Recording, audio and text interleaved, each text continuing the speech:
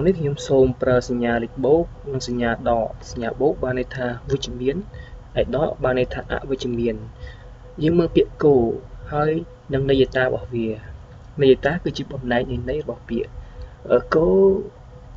គឺជាភាវៈរស់ជាសត្វពាហនៈមិនមែនមនុស្សមិនមែនវត្ថុចំណែកឯតុកមិនមែនជាភាវៈរស់មិនមែនជាសត្វពាហនៈទេមិនមែនមនុស្ស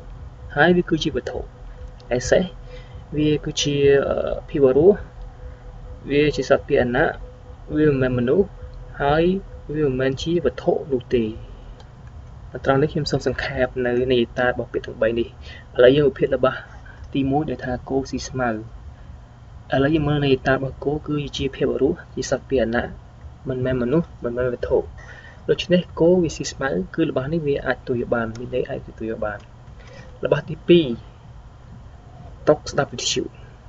ឡូវយើងភាគនៃត្រារបស់តុកវាមិនមែនជាភាពរស់វាមិនមែនជាសត្វពាហនៈមិនមែនមនុស្សប៉ុន្តែវាជាវត្ថុគេដឹងហើយថាវត្ថុវាគ្មានចលនាអ្វី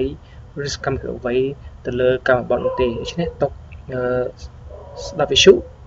មិនអាចទទួលយកបានទេសេះកំពុងអានសិភៅក្នុងរបស់ទី3នេះសេះកំពុងអានសិភៅឥឡូវយើងមើលនៃតារបស់សេះ គឺជាភាពរស់ជាសត្វពាហនៈមិនមែនមនុស្សមិនមែនវត្ថុដូច្នេះសេះមិនមែនជាមនុស្សទេដូច្នេះវាមិនអាចមានអឺចំណេះដឹងទៅអានសភៅបានទេវាជាសត្វដូច្នេះសត្វមិនអាចមានសកម្មភាពដូចមនុស្សទេដូច្នេះសេះកំពុងអានសភៅជារបស់មួយដែលពុំមានន័យអឺឬក៏មានបញ្ហាឬក៏មានហៅថាភាពខុសប្រក្រតីផ្នែកន័យ thank you